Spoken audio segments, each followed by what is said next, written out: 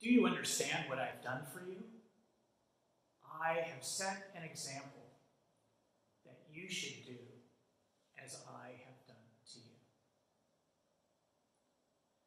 In that small sentence, Jesus sums up what we Christians are about in these three days. We're about remembering the sacrifice and the path of Jesus 2,000 years ago. And we're about remembering and getting grounded in our own vocation as Christian community today in this world now as we go through these three days.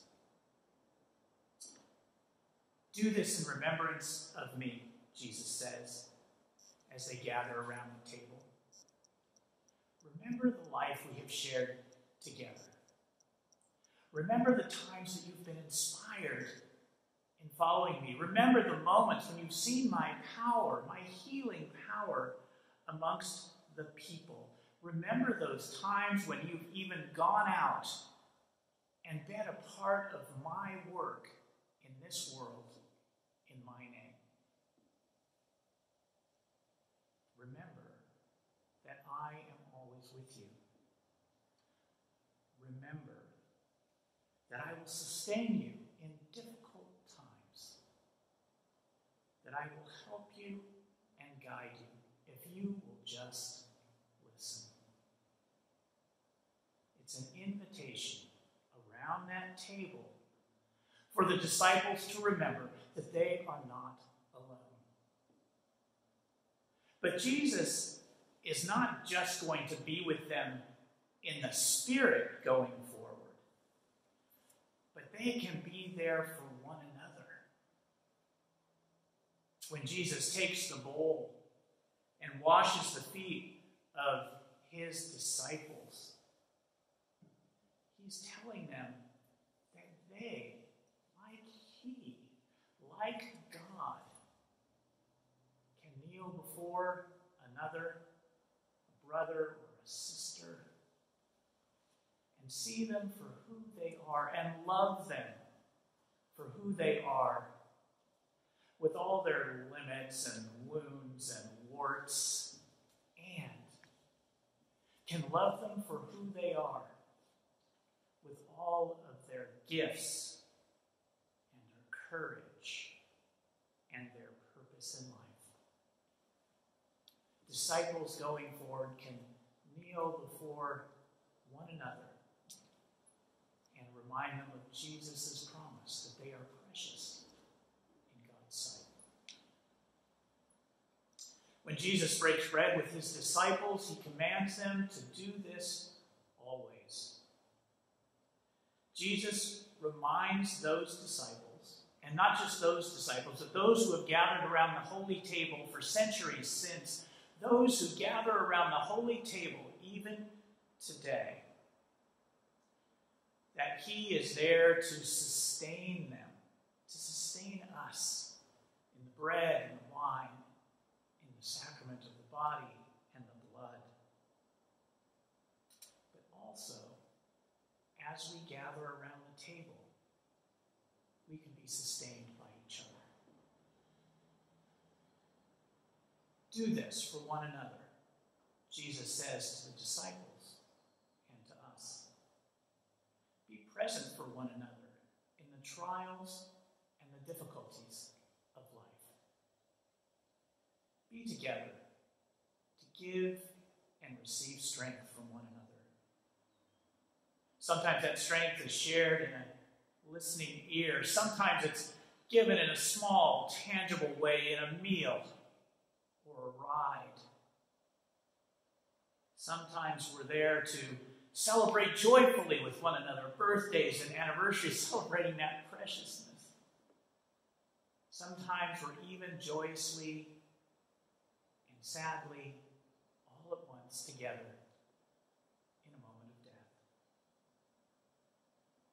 In the next two days, we will meditate on the suffering of Jesus for the sake of the world. ourselves in prayer to pray for the sake of the world. We will awaken Sunday to celebrate the reality of Christ's victory over death, and we will live into our call to live joyously, reminding one another that the power of God often astounds us, even when the moment seems a deathly moment.